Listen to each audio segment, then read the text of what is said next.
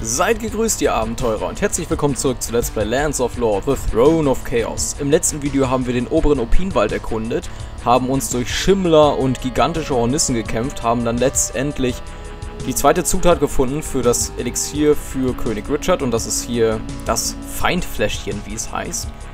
Aufgrund der Tatsache, dass wir quasi diesen süßen Nektar von unseren Feinden erhalten haben, den Hornissen. Außerdem haben wir Scotia getroffen, die uns ausgesperrt hat. Wir können von hier aus nicht in die Wyval-Wälder reisen, weil einfach dieses Hindernis zwischen uns steht. Mit konventionellen Mitteln ist dieses Hindernis nicht zu beseitigen. Wie ihr seht, habe ich unser Inventar nochmal ein bisschen aufgeräumt und habe wieder ein bisschen Platz. Ich habe im Sumpf noch einiges verkauft und wir sind jetzt bei 1600 Kronen und das ist ziemlich heftig. Nun, wie kriegt man dieses Hindernis weg? Auch das wird einem im Spiel nicht erzählt, man muss es durch Trial and Error herausfinden. Es gibt einen magischen Gegenstand, der dazu fähig ist, und das ist Vailans Würfel. Vailans Würfel ist ein magischer Gegenstand, den man auch so benutzen kann, und bei diesem Hindernis sorgt er eben dafür, dass die Magie quasi aufgelöst wird, die Scotia gewirkt hat. Probieren wir das Ganze mal aus.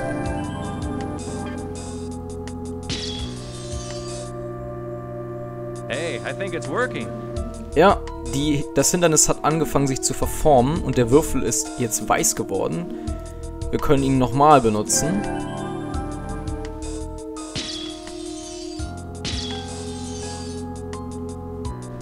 Und das Hindernis ist weg. Leider haben wir dafür den Würfel eingebüßt. Der Würfel ist nämlich auch ein Gegenstand, den man im Kampf gegen ganz bestimmte Gegnertypen benutzen kann. Aber dazu kommen wir später. Wir werden jetzt erstmal gucken, was es hier noch zu entdecken gibt. Und das ist nicht besonders viel. Außer einer Passage, die uns in den nächsten Abschnitt des Spiels bringt. Und zwar in die Wälder von Wyville. Das ist, wenn man so sagen könnte, im Prinzip der Anfang des dritten Aktes des Spiels. Wenn man das Spiel denn in Akte einordnen mag. Und ich tue das an dieser Stelle einfach mal. Die Wyville-Wälder sind der Beginn des dritten Aktes.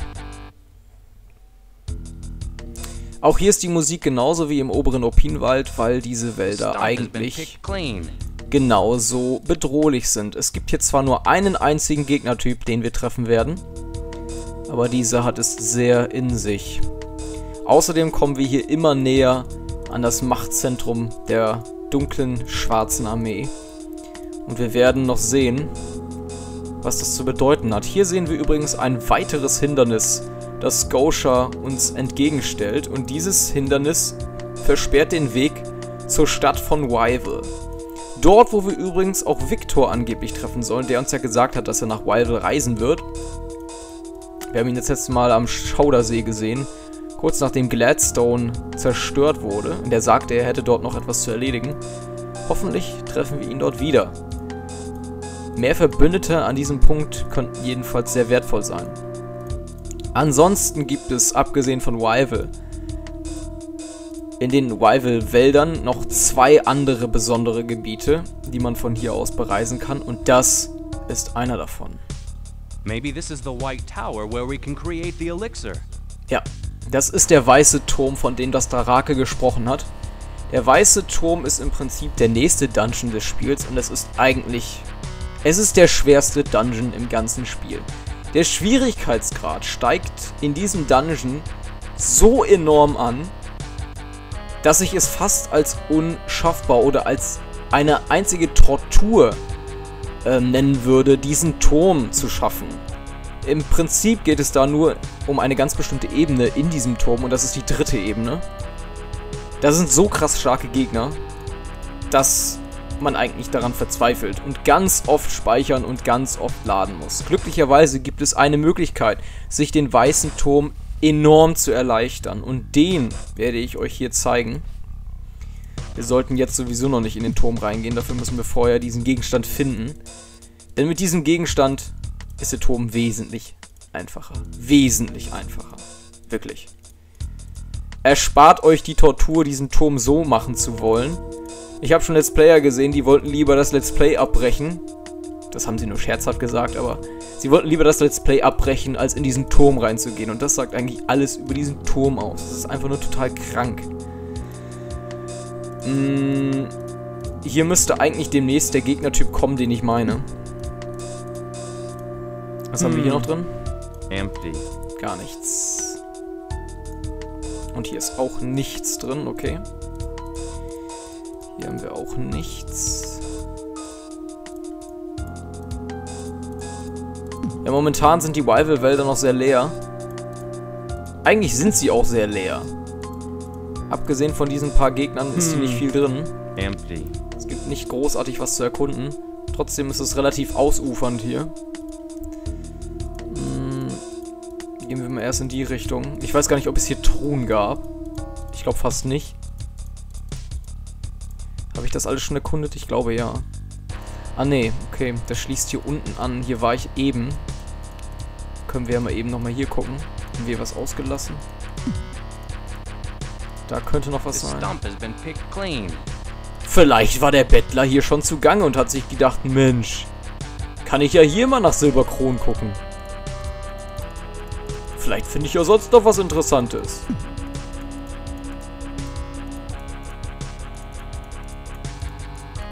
Und ja, ich verliere hier gerade die Orientierung. Ihr mögt es vielleicht schon merken. Der Weg ist aber richtig. Okay. Ähm, hier vorne habe ich was ausgelassen.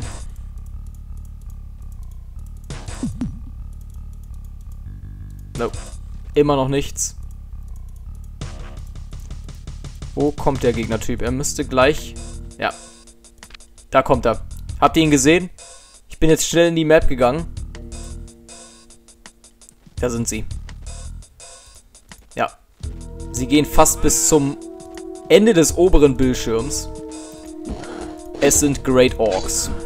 Großorks. Und sie sind wesentlich stärker als ihre kleinen Brüder aus den Opinwäldern. Wir werden uns hier mal mit Feuerbällen zu helfen wissen. Und was sehen wir da? Ihr mögt es eigentlich schon erkennen. Weilans Würfel. Natürlich muss es ihn nochmal geben, wenn wir schon dieses Hindernis da bei Scotia gesehen haben, dieses zweite Hindernis. Es war also nur der Frage der Zeit, bis wir einen zweiten Würfel bekommen. Aber, ganz wichtig, die meisten würden jetzt zum Hindernis Empty. rennen und das Hindernis mit dem Würfel beseitigen und sie hätten dann diesen Würfel nicht mehr. Das ist ein großer, großer Fehler. Tut es nicht. Behaltet diesen Würfel in eurem Inventar und geht damit in den weißen Turm. Warum? Dieser Gegenstand ist wie gesagt ein magischer. Er kann auch so benutzt werden. Und genau den wollen wir als Waffe benutzen. Und zwar als Waffe gegen die Viecher, die wir im dritten Level des Weißen Turms begegnen werden. Mit dem Weilandswürfel wird das viel einfacher, weil die Viecher einfach enorm verwundbar durch Weilandswürfel sind. Deswegen behaltet Weilandswürfel, kümmert euch später um dieses Hindernis. Versucht erstmal die dritte Ebene zu schaffen. Dann könnt ihr immer noch raus das Hindernis beseitigen und wieder in den Turm reingehen. Das werden wir sowieso einmal müssen, weil wir zwischendurch in die Stadt Rival müssen. Aber das kommt eben jetzt noch nicht. Oh, da tauchen wieder Orks auf. Und die sind offenbar stärker als die eben. Die machen zumindest viel mehr Schaden. Ah. Ich glaube, die ersten Großorks, die sind ein bisschen schwächer. Als die, die hier jetzt kommen. Wir werden mal hier reingehen. Weil wir hier nur von einer Seite aus angegriffen werden können. Puh. Da hat's Paulson erwischt. Ja, ihr merkt schon an, der, an den Schadenszahlen alleine, dass die hier stärker sind. Man sollte sich auch nicht zu lange hier aufhalten. Denn irgendwann wird man von Großorks überrannt. Da sehen wir es auch schon. Wir werden jetzt mal schnell hier die Flucht suchen. Warum die auf einmal kommen, fragt mich nicht. Ich weiß es wirklich nicht. Die spawnen auf jeden Fall offenbar irgendwo. Ugh, blöd. Wir haben doch so viel davon. Wir benutzen jetzt mal eben eine Aufladung von diesem Bezellbecher.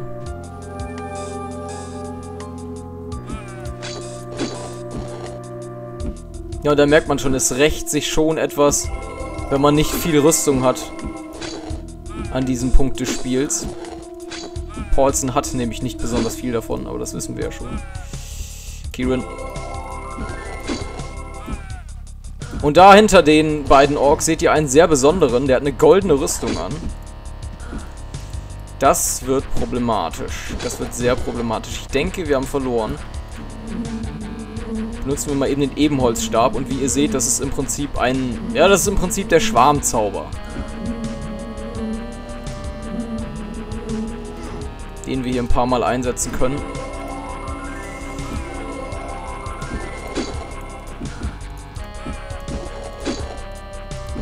Schaffen wir es doch noch. Tatsächlich. Unfassbar.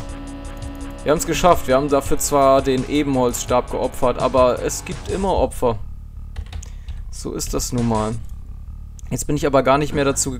Gottes Willen. Laden. Jetzt bin ich gar nicht mehr dazu gekommen, euch dieses besondere Gebiet dazu zeigen, was da noch kommt. Ihr habt da, glaube ich, lesen können, dass es die Geierschlucht ist. Da ist etwas. Da ist etwas, was wir nicht wirklich bereisen.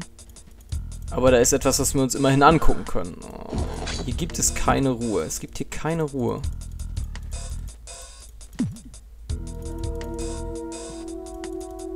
Überhaupt keine Ruhe gibt es. Nope.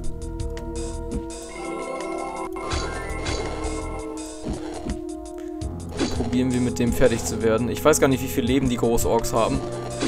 Habe ich mir jetzt auch ehrlich gesagt gar nicht angeguckt. Es müsste über 100 sein. Sie sind halt, wie gesagt, wesentlich stärker als die kleinen Orks. Und sie sind im Prinzip, ja, eine der Hauptfußsoldaten der Dark Army. Oh, ich werde bekloppt hier an der Stelle. Ich werde wirklich bekloppt hier. Ähm, gucken wir mal, ob wir hier zurückgehen können. Und ob die Orks noch da sind sind noch da.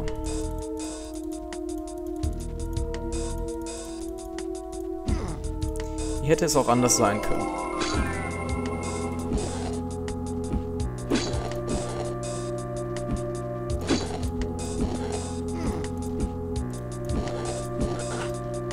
Und wieder laden. Ja, das ist im Prinzip gerade so ein bisschen Trial and Error. Es nervt auch.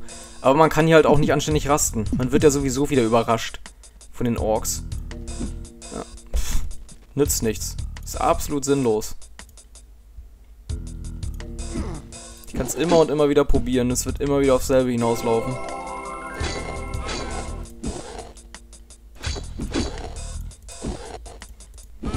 Ich werfe dich ein bisschen ab mit meinem Inventar quasi.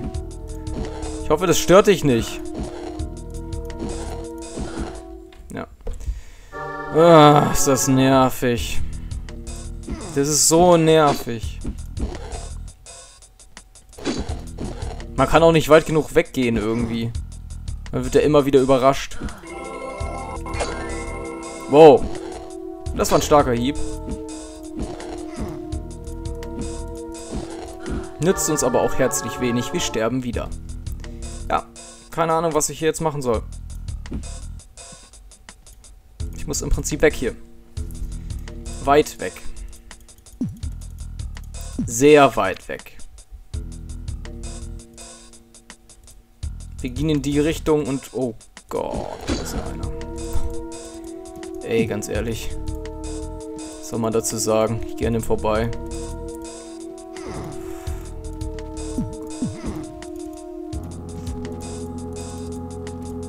Ist denn die Möglichkeit, ey? Der ganze Wald ist voll von denen. Die müssen hier überall gespawnt sein. Ja. Genau hier will ich hin. Wir werden diesen Großorks den Kampf ansagen, denn wir wollen unbedingt uns die Geierschlucht angucken. Möglichst schnell wollen wir das.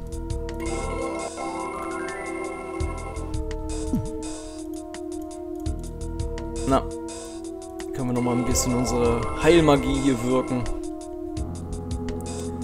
Ja, wie schon gesagt, der Schwierigkeitsgrad steigt enorm an. Nicht nur im Weißen Tower, sondern auch jetzt schon in den Wäldern selbst. Man hat das wirklich mit Kontrahenten zu tun, die man auch so nennen kann. Das ist kein Kinderspielplatz hier, wie jetzt zum Beispiel der obere Opinwald einer war. So, wollen wir nochmal unser Glück probieren. Hm, wir müssen natürlich aufpassen, dass wir in keinen Hinterhalt geraten. Da haben wir schon den ersten, den wir eigentlich auch von weiter weg so ein bisschen schon angreifen können. Wenn wir die Möglichkeit haben, sollten wir das auch tun. Damit ist der schon mal weg. Man steigt so natürlich auch ziemlich gut auf, wenn man... Oh. Guckt euch das an. Guckt euch das an. Was ist das für eine kranke Scheiße? Was ist das für eine kranke Scheiße?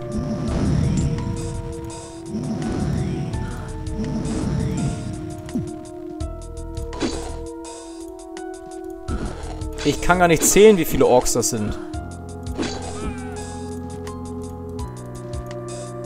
Ich kann es nicht mal zählen. Ich weiß nur, dass wir so nicht weiterkommen. Und ich wieder Zuflucht suchen muss. Hier. Im Opinwald. Naja. Das Gute an der Sache ist, wenn wir jedes Mal wieder hierhin zurückrennen und uns um diese Orks kümmern, irgendwann sind sie tot. Und wir sind ein paar Stufen aufgestiegen. Das könnte tatsächlich passieren, ich weiß es nicht. Also nochmal wieder rein. Schnell dahin, da sind sie. Ein paar Feuerbälle schmeißen. Nein! Das wollte ich doch gar nicht.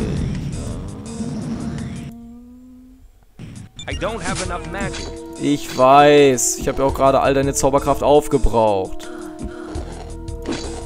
Glaub nicht, dass ich glücklich damit bin.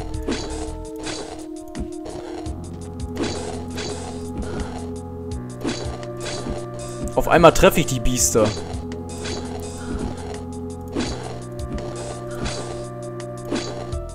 Meine Güte, so. Kann ich rasten? Ich kann sogar rasten. War's das mit den Orks?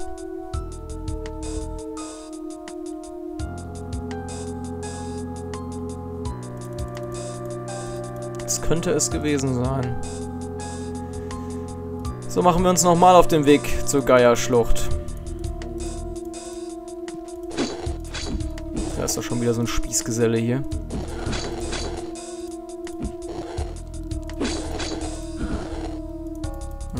Lässt sich aber offenbar ganz gut bekämpfen. Sobald die alleine sind, habe ich mit denen keine großartigen Probleme mehr.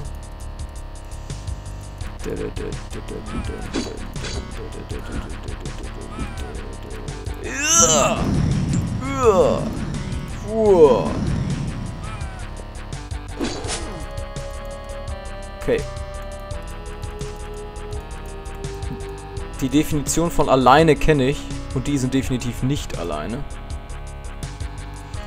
Es dürfte sich bei denen aber um die letzten Orks handeln.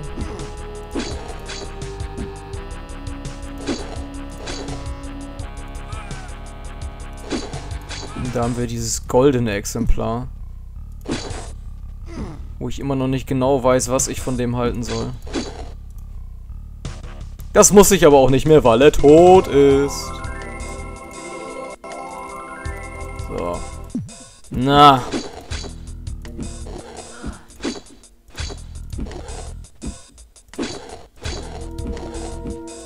Nun komm schon, geht doch. Noch einer. Und da hinten ist noch einer. Mittlerweile bin ich aber besser darin, euch zu vernichten. Oh Gott. Immer auf die Wumme. Geht doch. Puh. Kann ich jetzt zur Geierschlucht? Bitte. Ja, das sieht verdammt gut aus. Wir werden jetzt mal schnell dahin gehen denn da gibt es etwas Wichtiges zu sehen. Uh-oh. This looks like trouble. Oh ja. Seht ihr diese Schlucht? Ärger. Seht ihr diesen Turm? Ärger. Seht ihr diese Feuer? Verdammt viel Ärger. Das ist nicht etwa Baradur. Das ist nicht der Turm von Sauron oder so.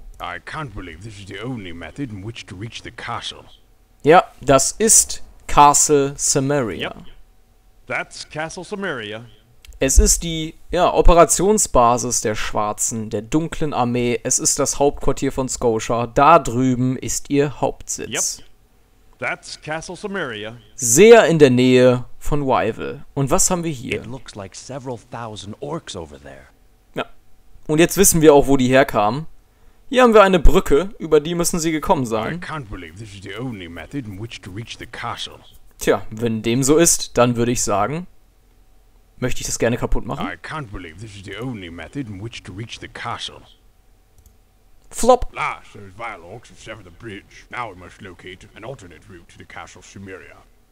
Okay, also die Orks haben diese Zugbrücke zerstört?